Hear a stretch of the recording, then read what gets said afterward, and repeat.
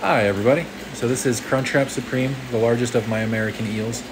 And that crab right there actually has a frozen fish that he wants. So this is about as aggressive as the eels and crabs get to each other. Uh, he is trying to steal that fish out of the crab's claws. He is not wanting to share.